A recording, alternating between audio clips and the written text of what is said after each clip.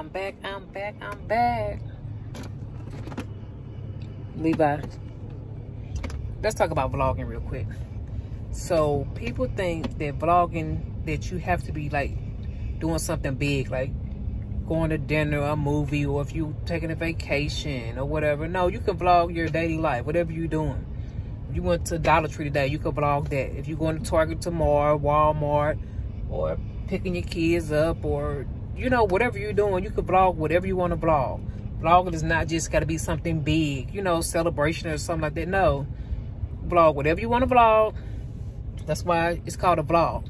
Whatever you're doing that day. You could be at home cleaning your house or cook with me or, you know, say a mental check-in or whatever it is. Like, that's vlogging. If people love vlogging videos, they're to watch it. Because I love vlogging videos. I love them, love them, love them. That's what I mostly watch.